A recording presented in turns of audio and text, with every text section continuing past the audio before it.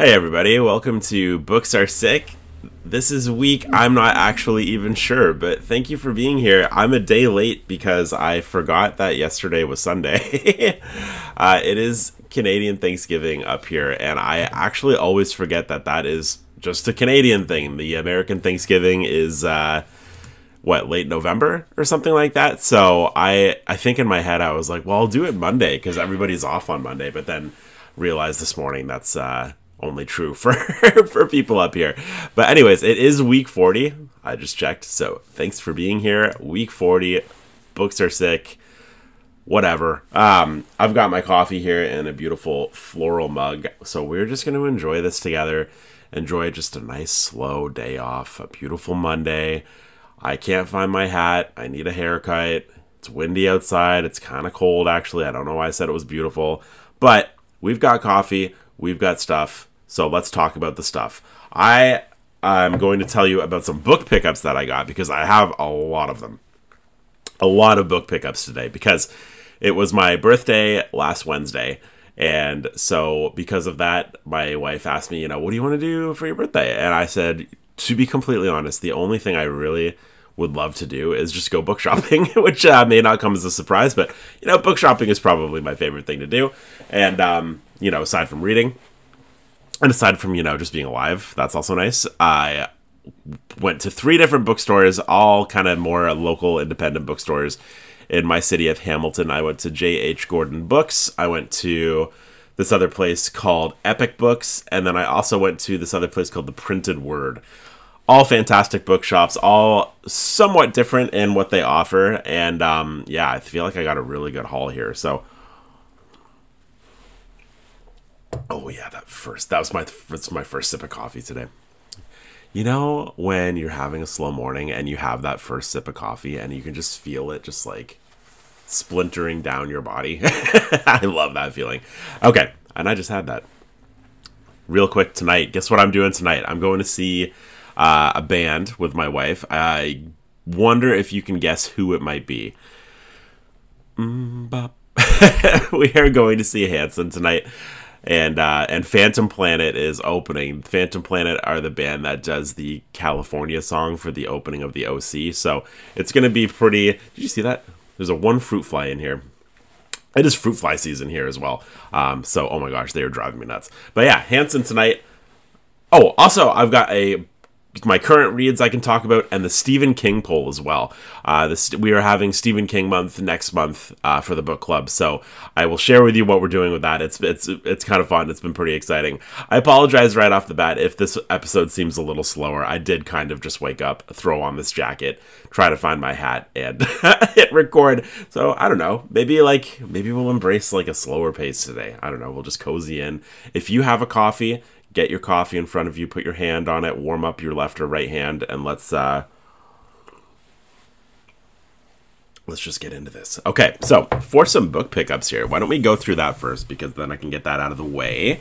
I did go uh, and see these Stephen King covers in person, and I've noticed this one here online. A few people have posted this in the Patreon. A few people uh, have posted it otherwise on social media and stuff like that. And I just think this cover is so cool.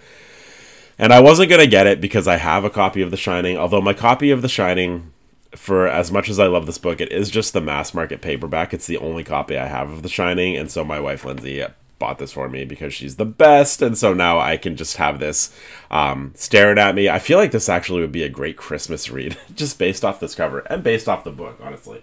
Um, I love that. I'm a sucker for reissues with cool covers, so I uh, I picked that up. They also had a really cool one for Salem's Lot, so uh, if you do see those out in the wild, the Salem's Lot one is actually really neat too. I don't I can't show it to you because I didn't get it, but um, I also got a nonfiction book. I think my no, I actually got two nonfiction books. I think, yeah, two. This is called The Empire of Pain by Patrick Radden Keefe, and this is a situation where I've seen this book sitting on the on the main shelves for quite a while now. But this is such an intimidating looking thing, you know, because it's about the history of the Sackler dynasty. And if I'm being honest with you, I don't even know what that is. So I, I I don't know what that is. I don't know any of the history there. I don't know any of the story. I don't know who those people are. I don't know anything. So Um, this uh, this is an intimidating read, but I did a quick Google on it just to maybe kind of hype myself up. And there are so many people out there saying this is one of their favorite, if not their favorite, nonfiction read that they've ever read. They didn't know anything about it going in, and they got totally hooked and sucked into it and couldn't put it down. I believe. Actually, I don't want to say anything because I can't really fully remember what people were saying. But so it was enough to pump me up to buy it, and uh, I've I've been wanting to get into some more nonfiction um, lately, so I, uh, I I did grab that. Okay, now let's move on here. I talked to the owner of Epic Books, and I would try, you know, my favorite question to ask people, what is, especially if you're a bookstore owner, you know, what is your favorite book of all time, out of curiosity? And she gave me two. Actually, she gave me three. The other one that I, I, I have not found yet was um, called The Amaz- Amazing Adventures of Kavalier and Clay. I, uh, oh wait, Spoiler. Okay, I did find that one. I'm an idiot. Uh, so I found it. she was she was like, "This is one of my favorite books ever," but they didn't have a copy, and I guess they they they don't stay on the shelves for too long. So I went to another bookstore, and I did find it based on her recommendation. And uh, this uh, I have not a clue what this is about, but the margins here are terrifying. Small letters, small words. Um, yes scary, scary, scary. And this is a pretty long book too. I want to say this is up into the 700 page mark. But you know, when a bookstore owner is that passionate about a book being her favorite book, it's kind of like, well, I'll bet this is actually probably pretty good. And the other one was uh, The Parable of the Sower by Octavia Butler. I feel like a lot of people go with Kindred for their first Butler book. I've wanted to read Octavia Butler for quite some time. I've heard just the most incredible things about her writing, and I am just so eager to get into an Octavia Butler book. And she kind of recommended Parable of the Sowers be, uh, being your first one. And I did a little, a little extra research on the internet. That does seem to be a popular choice, so I'm looking forward to that.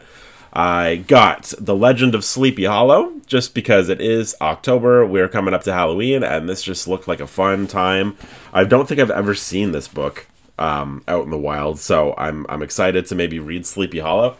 I did pick up Sleepy Hollow on VHS I last, uh, what, last uh, week, a week or two ago, and I watched it with my kids, and uh, it was pretty fun. You know, they were like, "Oh my gosh, it's a guy with no head," it was uh, it was pretty fun. Uh, oh, you know what? Sorry, another. She gave me a few. The another favorite book of uh, the Epic Books owner is Fire Weather: The Making of a Beast by John Vaillant. This is a this is the other nonfiction book that I got. This is about. Um, this is about I think a lot about climate change, but it's centered around the fires at Fort McMurray and kind of how that even happened. Uh, and apparently, John Vaillant's writing is just beautiful and uh, very gripping. So, looking forward to jumping into that one. Um, this one here, also, uh, The Knowing by Tanya Talaga. This is a uh, really nicely laid out book here. This is a signed copy, so I was excited to pick that up. She's doing an event in our city soon. And um, so, right down here, it says Beautiful and Heartbreaking. Uh, the Knowing is a handbook for reaching beneath the myths of Canadian history. So, uh, I'm looking forward to experiencing that as well. I got Pachinko by Min-Jin Lee this is uh, one of those books I just I hear quite a few people talk about. It pops up on my timeline a lot, and I'm like, I don't know what that is. So I picked it up so that I can eventually jump into it. I really like trying to get like a bit of an array of books when I'm doing like a solid day of book shopping, and I had the excuse of it being my B day. Not that that matters, but to to kind of just go nuts, and so that's what I did. So Pachinko is another one that I got. Also at uh, the printed word, they had a first U.S. edition of the Silmarillion by Tolkien and so I got it because it's just so pretty, and I really have always loved that cover of the Sil- Silmarillion. I don't know why. I just think it's really pretty, and I just love that it looks fake but real, and I love, uh, you know, get a get bring back massive pictures of the authors on the back of the book. You know, like uh, all of Stephen King's books from the '70s, '80s, and '90s. There's just like a huge picture of him. That's all I want. I think that's cool. You know what else I picked up? I picked up um, Intermezzo by Sally Rooney. This is the book everybody's talking about. It's everywhere. It's almost like you you can't get away from it. I love it. You know, I, I think it's so cool. I saw this video, I think from the UK or like Ireland or something like that, where when this book came out, there were literally advertisements everywhere, like big billboards. And I just think that's so cool for a book to get that much uh, to be getting that much love, almost like a rock concert sort of thing. Man, I'm showing my age, almost like a rock concert, you know. but uh, uh, so I picked up that one because I want to be a part of the conversation. Maybe hoping to read that one early November. You know, it's kind of one of those ones I've never read Sally Rooney before, and a lot of people are like, "Well, don't start with Intermezzo." You know, maybe go normal people. But um, mm, why not go Intermezzo? You know, I want to be a part of the convo. I want to be current. Uh, just a couple more here. I got The Crossing by Cormac McCarthy. This is the only Cormac book that I don't have, so uh, that's why I picked that up. And it is the hardcover. Cormac is just. He's got to be like if I, I I was trying to think the other day like if I had to put together like a top five authors so far, who would be on there? There are some obvious picks for sure, like Steinbeck and King are on that list. Um, but who else would be there? I actually I was trying to think. You know, Cormac might be on there. I'm not sure. Uh, I also just picked up this NYRB book called Fear, a novel of World War One by Gabriel Chevallier. To be totally honest with you, I just love NYRB books. Oh, come on, come on. And I uh, grabbed it for that reason. you know, I feel like I don't really know what this is about, but I just like adding to my NYRB collection on my shelf. It's uh, it's just nice to look at. I just I feel like it's just uh, I like the way that they've done their whole thing. Every everything's kind of consistent. Everything looks somewhat the same, but unique in its own way.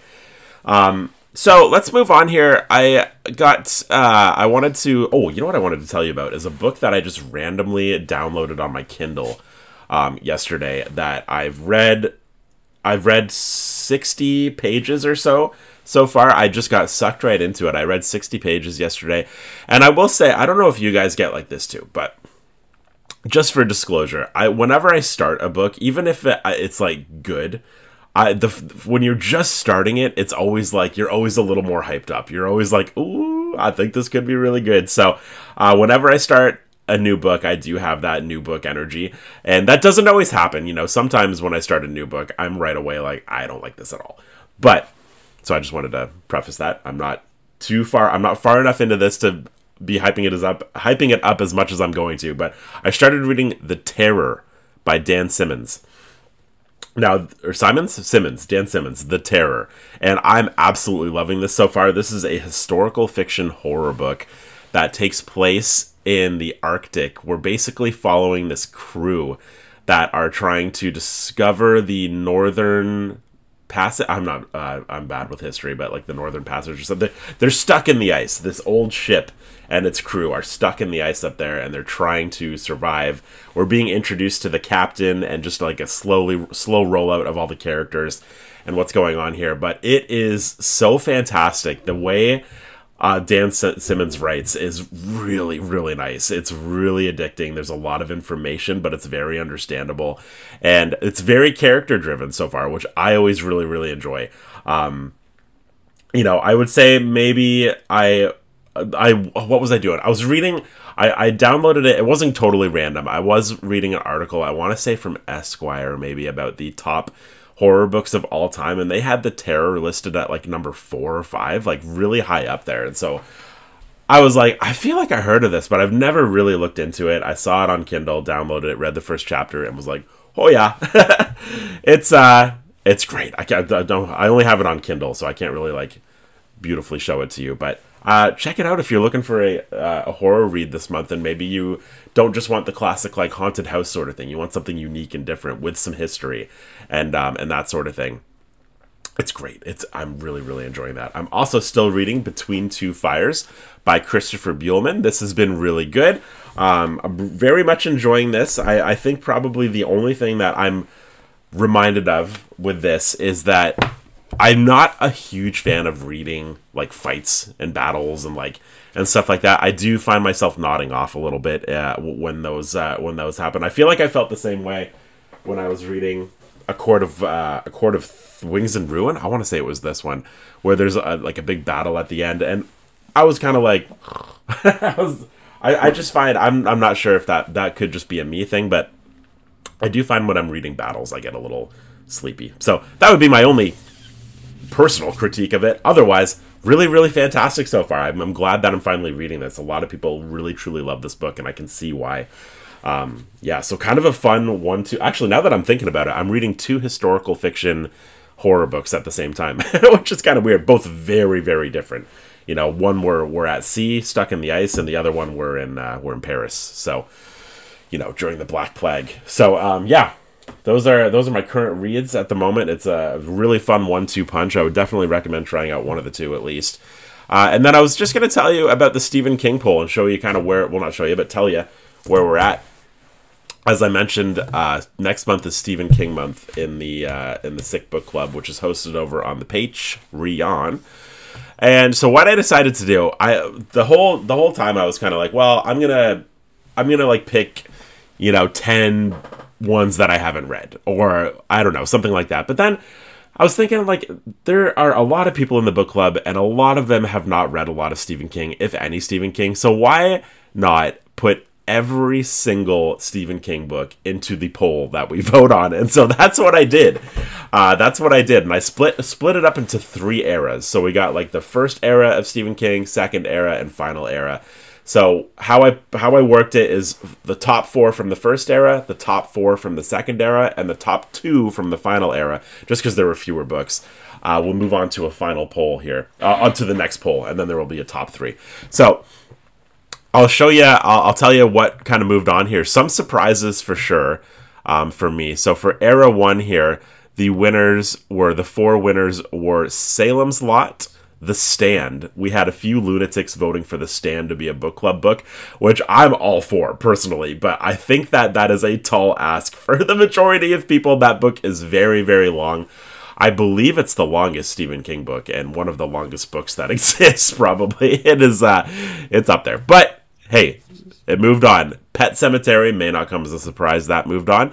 And Misery also moved on. Now the surprises for me here were um Carrie, I thought Carrie was going to do a lot better just because I feel like name brand, like it's very well known. I thought The Shining was going to do a lot better. And for some reason, I thought it was going to do a lot better too. It only got 2% of the vote. And you know, I, I could use the argument of like, oh, well, it's a really long book. People don't want to read the long, but The Stand made it through, and it I feel like is probably the most well known, got to be one of the like top three most well known Stephen King books, and it is Halloween, and it is kind of one of the more spooky ones. So I'm surprised that one didn't do better, but hey, whatever. Uh, for Era Two, the the the four that moved on were Under the Dome, which right off the bat was a surprise for me. 112263, not a surprise. The Green Mile, not a surprise that that moved on. But the big surprise for me in this era is that Mr. Mercedes moved on. And the only reason I find that surprising is because there are books like Duma Key, um, Bag of Bones, Dolores Claiborne, Gerald's Game, Rose Madder, Des- uh, maybe not Desperation, but The Girl Who Loved Tom Gordon. There's so many books in here that I, I'm surprised Mr. Mercedes beat. But it did. So I don't know. I like it. Whatever. And then for the final era here, just the top two that moved on were Revival and Fairy Tale. The surprises there would be that the Institute and Billy Summers didn't move on because I feel like in every single comment section I've ever had where I'm mentioning Stephen King, Billy Summers gets mentioned. every people want me to read Billy Summers so badly. Uh, but it didn't move on. It did get close. It did get close, but Fairy Tale and Revival are the two that moved on from there. And so we are currently in the second round of the poll, the top 10. So the top 10 looks like Misery, Pet Sematary, The Stand, Salem's Lot, Mr. Mercedes, The Green Mile, Under the Dome, 1122, 63, Fairy Tale, and Revival. It may not surprise you that Mr. Mercedes and Fairy Tale have the fewest votes. I don't think that would come as a surprise to most people. The top three right now which is not a surprise in the least, is Misery, Pet Sematary, and 112263. Probably the three Stephen King books that I've mentioned the most. So, um, yeah, I'm happy about that. 112263 is a clear leader, and I think I'm excited about that. I don't know what's going to take it because Pet Sematary and Misery do have a lot of votes as well. And I just think it would be really fun to read any one of these, but 112263 to experience that in a book club uh, I feel like would be a really, really good time. So we'll see what happens, but if it wins, I'll be more than happy to reread it. I actually meant to reread it earlier this year. Um, I kind of did a video where I was like, I've never re- really reread a book outside of On Writing. I've read On Writing a couple times, but I really wanted to reread a, a book, and I said I was going to do 112263, and I read the first few chapters, and then I just got too busy. But uh, maybe maybe doing that at the end of it all. So yeah, so that's what's going on over on the book club, uh, and that I don't know. That might be all I really have to uh, share with you. Oh, actually, you know what? I found some more books I can share you that I got. I did get more. They were hiding here. I got. Uh, I love these little Penguin Classics books, uh, especially when they um, are the mini ones like this. So I got uh, the Metamorphosis by Franz Kafka. I just thought that looked really, really cool. Uh, these are just great shelf shelfy looking ones. And I got The Lagoon by Joseph Conrad. Joseph Conrad's an author I haven't read yet, but uh, I'm looking forward to jumping into to that one. And check this out. Speaking of Carrie, found this. Uh, see if I can open it here so it's there's no shimmer. Um, found this kind of vintage classic horror cover here that I've actually never seen before, and I just thought it was really neat. Um, just an old paperback, nice and stinky. and just a cool looking copy there. So those are the, yeah, oh my gosh. Very fortunate Lindsay treated me to uh, the majority of these. And uh, it was a great day. Just a great day, you know? Is there any better day than just drinking coffee and buying books? I don't believe that there is. You could maybe tell me uh, of something better, but I already disagree. Okay, so yeah, plans for this week. I got to get a haircut. Uh, I almost got one the other day, but I chickened out and I just kept walking. But uh, that is uh, that is primarily on my list. I'm in the peak of busy season in my in my life right now. October is always insane. I've got so many weddings to edit, so many sessions to edit, and so many more sessions and weddings coming. Um, and so it's kind of like a never ending cycle of like, ah, right now. But, uh, you know, so that's why my brain's a little scattered and I um, kind of forgot that yesterday was Sunday. But, you know, guys, thank you for tuning in. I love doing this. Um, apologies if this one seemed a little slower. Uh, still just waking up here, but um, I, I, I uh, will see you guys next Sunday for week 41 and we will have our Stephen King book winner, so I can share that with you next week, and um, and whatever else. Maybe I'll be done the Terror. At this rate, I might be. It's a very long book. The Terror is. It's a uh, you know, I, I believe I checked the. I always check audiobooks to get a really good feel for how long a book's going to be because sometimes you pick up a book and it's 700 pages and it's sh- technically shorter than another book you have that's like 400 pages. You know, it's all based on margins and paper size and paper thickness and stuff like that. So it's kind of hard to like just look at a book and get a real good idea for how long it's going to be. So I always look at Audible or wherever audiobooks are and just like look at the little thing and see how long it is to get a good idea. I believe The Terror is about 30 hours. So, you know, it's about three, what would you say, like three, three and a half books in one uh, for your average book. So it's a it's a it's a big one, but I think it's going to be worth it. I'm really loving it so far, and I love big books. I love long books. I love I love the immersibility of just being stuck in a story for that long. So, um, anyways, maybe I'll maybe I'll have that done next week. Maybe I won't. I, I will certainly have Between Two Fires done by next week, so we can chat about that. I'm just rambling here at this point. I don't know what's going on. Uh, so yeah. Anyways, guys, thanks for being here. Thanks for uh, tuning in. Tuning in as always, and I'll see you next weekend. Hope you have a beautiful week of reading. Um, share with me down below what you're reading. I always love uh, love to hear. And uh, yeah, we'll see you next week. All right, see you guys.